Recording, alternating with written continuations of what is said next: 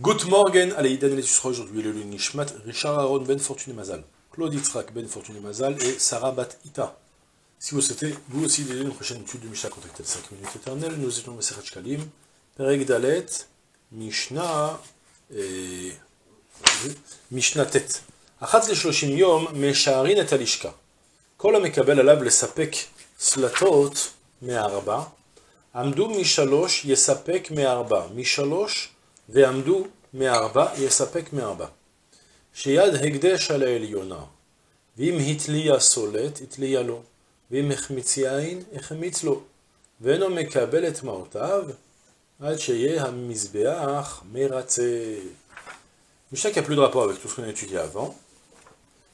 Ça concerne toujours la gestion des, des caisses, bien sûr, mais cette fois-ci, on va voir par rapport aux dépenses du, de la lishka. Achat lishloshim yom, une fois tous les 30 jours, Mesha'arin et halishka. La lishka, c'est la cabine, le cabinet où l'argent est stocké. De la lishka, ça sort on va fixer un cours pour les, euh, fournitures, si je peux dire, des corbanotes. C'est-à-dire, avec chaque corban, il y a toutes sortes de, de, de huile, d'huile, de vin et de solettes d'oblation de, de, de, semoule à apporter au Batamikdash. On devait, avoir des fournisseurs. Et bien, une fois tous les 30 jours, je ne sais pas, à la même date fixe, c'est Pasteur Roche au milieu du mois, on, on fixe qu'on va évaluer selon le cours actuel, on fixe que maintenant, pour les 30 prochains jours, le Hekdesh va fixer le cours par lequel il va obtenir son blé, par exemple. Donc on va on va, dire, ben, on va 5 shekels le kilo. On va se fixer le prix, et on va aller voir un fournisseur qui va accepter. On va dire, écoute-moi, sur une base de 5, 5 shekels le kilo, prends 5000 shekels, comme ça tu vas nous donner 1000 shekels pour le 1000 kilos pour le prochain mois. D'accord? Ça, c'est ce qu'on a, ça veut dire qu'on fixe le Meshaharin et Talishka. Mais attention, là, ça va être assez original ce qui va se passer. Que, quand la Mekabel alav le sapek slatot me'arba amdu mishalosh yesapek me'arba. Tout celui qui prend sur soi de fournir, les sapek, c'est fournir, slatot, des semoules, me'arba, pour de 4. C'est-à-dire, toi tu me donnes un sela ou un dinar, et moi je te donne 4. Si Amdou Mishalosh, si toutefois le prix a augmenté, parce que maintenant le prix il a changé, et pour un là on donne 3, plus que 3, donc moi je, le vendeur gagne plus, d'accord? Malgré tout, on a fixé à la date que tu allais me donner 4 pour le prix de 1, on ne change plus le prix. Depuis le moment où le Hekdesh a donné l'argent, le Hekdesh a déjà acquis quelque part. Bon, d'accord, c'est une manière de procéder, le problème c'est que c'est on danse, euh, comment dire, on mange à tous les râteliers. Mishalosh Vamnu Mirba, par contre, c'est le contraire. On a fixé selon le cours, on a fixé qu'avec un dinar, bon, tu vas m'en donner 3. Après, le prix il a baissé. Vamnu Mirba, le prix il est passé maintenant qu'on a donné 4 pour un, c'est là. Donc ça coûte plus cher. D'accord? Et là, cette fois-ci, il y a Sapek Mirba, le Hekdesh, il devra donner pour 4. D'accord? Pourquoi? Parce que chez Yad Hekdesh, Al Eliona. Car la main, la main du Hekdesh, elle est euh, elle a l'avantage, elle est au supérieur. Elle a l'avantage, et l'avantage est toujours pour le Hekdesh. Je, je récapitule, l'idée elle est très simple, d'accord? Vous avez compris? En théorie, d'abord, euh, concrètement, entre parenthèses, c'est presque les mêmes halachot, ça dépend, on a moyen de procéder de parler de la même chose avec son copain, avec euh, le, Chenvani, pour ceux qui se souviennent des Mishnah de Ezeon Necher, Père Michi de Baba On parlait longuement de ça, justement, de partir voir un vendeur, on lui dit, bon, moi je te donne 1000 shekels pour tout le blé pour l'année, on fixe un prix et puis on, on va selon ce prix-là. Et il y avait aussi des possibilités de procéder pour faire que, si toutefois le prix se m'a baissé, malgré tout, tu me donnes maintenant avec le prix bas. D'accord? Là, avec le Hekdesh, c'est concrètement, c'est expliqué un peu différemment. C'est expliqué sur le fait que le Hekdesh, il acquiert avec l'argent. D'accord? Avec son, face à son prochain. Si moi, si moi je veux acquérir quelque chose avec vous, alors pour la lacha, quand je paye, j'acquiers pas. Il faut que je saisisse la chose même si je saisis et que je n'ai pas payé, j'acquiers. D'accord? Meshicha, si, si vous en connaissez, Agba, Meshicha, pour, être connu pour acquérir des, des biens euh, mobiliers. Avec le Hekdesh, ça fonctionne à l'envers, il faut payer. Lorsque tu payes, tu as fixé le prix. Moi, j'ai payé pour on a fixé un prix que tu me donnes pour 100 shekels, tu me donnes 4, même tu me, donnes 4, même si le prix maintenant il va augmenter, ben, j'ai déjà acquis que tu me donnais, tu, tu me donnais 4.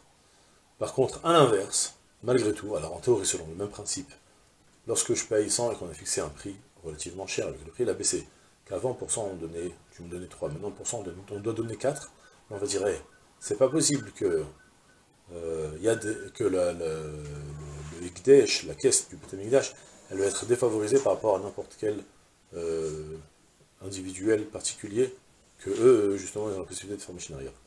D'accord? Maintenant, malgré tout, il faut bien réaliser quelque chose. Vimitlia solette, itlia l'eau. Si toutefois, la solette, elle a, elle a été pleine de verre, donc elle est plus utilisable, itlia l'eau, c'est le vendeur qui perd. C'est normal. C'est le même principe de nouveau, même avec euh, avec l'épicier du quartier, j'ai le même procédé. Je vais, je lui paye pour 1000 shekels pour que maintenant, pour les trois prochains mois, tu me donnes la farine, chaque fois que j'en ai besoin, on déduit. Si toutefois il y a eu une galère, il y a eu la, farine à la tournée, ben, tu ne sais pas moi d'encaisser les pertes. Même principe avec le Gdesh. Donc le Gdesh, la Michel a besoin d'insister, parce que le Gdesh, comme on a dit, on acquiert en payant. Mais cette fois-ci, malgré tout, j'acquiert en payant, c'est vrai, mais malgré tout, s'il y a eu une perte, c'est le vendeur qui encaisse la perte. Maintenant, même idem aussi, si le vin il a tourné au vinaigre, eh ben c'est c'est le c'est le vendeur aussi, c'est l'épicier qui aura perdu le, qui aura perdu le, qui a eu cru qu'il devrait encaisser la perte. Alors je traduis la phrase, après on explique un peu mieux. mais il ne recevra pas son argent, donc l'épicier, jusqu'à que le misbeach agrée le korban. En deux mots, l'épicier qui voudra maintenant prendre l'argent que le Gdesh lui a donné, il ne deviendra possesseur de cet argent que lorsque la chose qu'il m'a fournie, elle va monter sur le misbeach. J'ai acheté du blé, j'ai acheté, euh, on a acheté 20 kg de blé par exemple, eh ben, il faut que les 20 kg soient montés en oblation pour que ça y est, l'épicier ait le droit d'utiliser cet argent. Plus précisément, on parle que, en fait, ça se passe comme ça, le partenaire explique, le Yerushalmi explique. On parle que je donne l'argent au début, à la date du mois, je donne l'argent pour tout le mois. Malgré tout, il y a un problème technique, c'est que comme l'épicier n'a pas encore fourni la marchandise, l'argent est encore kadosh.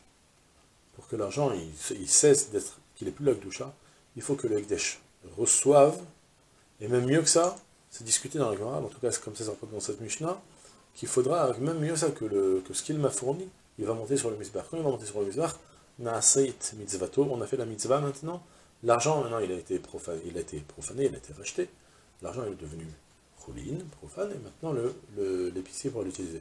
Donc je récapitule maintenant, très rapidement. Le, on, on, on, je un exemple avec 5000 shekels pour 1000 kg de blé, 5000 shekels, tu me dois maintenant 1000 kg de blé pour le prochain mois. On a fixé le prix. Si le prix va augmenter, moi tu me donnes 1000 kg de blé. Si le prix baisse, on va réajuster selon le prix que ça a baissé. Avec 5000, tu me donneras 1200 kg de blé. Et les 200 kg, ce sera, ça tombera dans les caisses des excédents qu'on évoquait au début du chapitre. Ça c'est un. Si toutefois il y a la farine qui tourne, qui a un problème, qui se remplit de verre, qui est le plus utilisable, c'est lui qui perd, devrait de l'argent, avec Dash. Mais même mieux que ça, même lorsqu'il va me donner l'argent, même lorsqu'il va me donner la marchandise, le, blé par exemple, il ne pourra pas encore utiliser l'argent chez lui, jusqu'à que le Hekdesh, on va, l'utiliser pour en faire le korban, et lorsqu'on va faire le korban révélation, alors ça y est, l'épicier va pouvoir utiliser cet argent. D'accord? C'est tout pour aujourd'hui, c'est une journée pleine. De